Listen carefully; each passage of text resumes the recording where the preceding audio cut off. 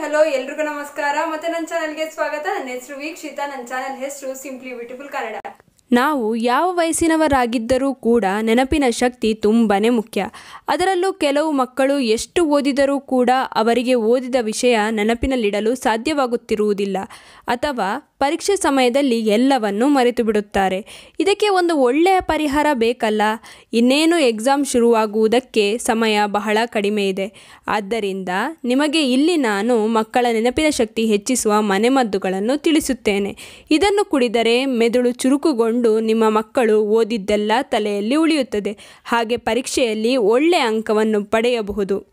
ದಾಳಿಂಬೆ ಸಿಪ್ಪೆಯಿಂದ ತಯಾರಿಸಿದ ಟೀ ಅಥವಾ ಕಷಾಯ. ಗ್ಯಾಸ್ ಮೇಲೆ ಒಂದು ಪಾತ್ರೆ ಇಡಿ. ಇದಕ್ಕೆ ಒಂದು ಗ್ಲಾಸ್ ನೀರು ಹಾಕಿ. ದಾಳಿಂಬೆ ಸಿಪ್ಪೆಯನ್ನು ಹಾಕಿ ಚೆನ್ನಾಗಿ ಕುದಿಸಿ.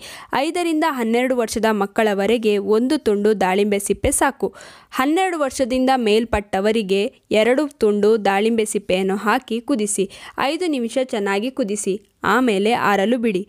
ದಾಳಿಂಬೆ ಸಿಪ್ಪೆಯಲ್ಲಿರುವ ಔಷಧಿಯ ಗುಣ ನೀರಲ್ಲಿ ಚೆನ್ನಾಗಿ ಬಿಟ್ಟುಕೊಳ್ಳಲಿ. ಆಮೇಲೆ ಶೋಧಿಸಿ, ನಿಮ್ಮ ಮಕ್ಕಳಿಗೆ ಕುಡಿಸಿ.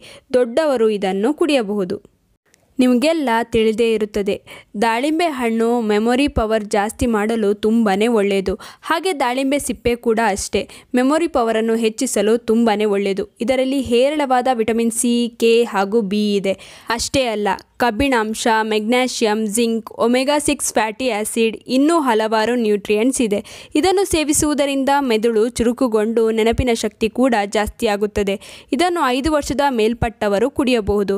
ಇನ್ನು ಪ್ರತಿದಿನ ರಾತ್ರಿ ಊಟದ ಮೊದಲು ಕುಡಿಸಿ. ಬ್ರಾಹ್ಮಿ ಒಂದೆಲಗ ಸೊಪ್ಪಿನ ಕಷಾಯ. ನೀರನ್ನು ಅಥವಾ ಹಾಲನ್ನು ಚೆನ್ನಾಗಿ ಕುದಿಸಿ, ಅರ್ಧ ಚಮಚ ಈ ಬ್ರಾಹ್ಮಿ ಪುಡಿ ಬೆರೆಸಿ, ರಾತ್ರಿ ನಿಮ್ಮ ಮಕ್ಕಳಿಗೆ ಕೊಡಿ. ಇದರಿಂದ ನಿದ್ದೆ ಚೆನ್ನಾಗಿ ಬರುತ್ತದೆ. ಕಾನ್ಸಂಟ್ರೇಷನ್ ಪವರ್ ಜಾಸ್ತಿಯಾಗಿ ನೆನಪಿನ ಶಕ್ತಿ ಕೂಡ ಹೆಚ್ಚಾಗುತ್ತದೆ. ಇನ್ನು ಇದರ ಪುಡಿ ಎಲ್ಲ ಆಯುರ್ವೇದಿಕ್ ಮೆಡಿಕಲ್ ಶಾಪ್ಗಳಲ್ಲಿ ದೊರೆಯುತ್ತದೆ. ಅಥವಾ ಈ ಎಲೆ ನಿಮ್ಮ ಮನೆ ಬಳಿಯಲ್ಲೇ ಸಿಕ್ಕಿದರೆ ಅದನ್ನು ನೆರಳಲ್ಲಿ ಒಣಗಿಸಿ, ಪುಡಿ ಮಾಡಿ ಕೂಡ ಬಳಸಬಹುದು. ಇದನ್ನು ಪ್ರತಿದಿನ ರಾತ್ರಿ ಊಟಕ್ಕಿಂತ ಒಂದು ಗಂಟೆ ಮೊದಲು ಕೊಡಿ. ಇನ್ನು ಒಂದೆಲಗ ಸೊಪ್ಪಿನ ಕಷಾಯ ಕುಡಿಯಲು ಕೆಲವು ಮಕ್ಕಳು ಇಷ್ಟಪಡುವುದಿಲ್ಲ. ಅಂಥವರಿಗೆ ಈ ಬ್ರಾಹ್ಮಿ ಪುಡಿ ಬದಲು ಆಯುರ್ವೇದಿಕ್ ಮೆಡಿಕಲ್ ಶಾಪ್ಗಳಲ್ಲಿ ಚಾಕ್ಲೇಟ್ ಫ್ಲೇವರ್ ಬ್ರಾಹ್ಮಿ ಪುಡಿ ಕೂಡ ಸಿಗುತ್ತದೆ.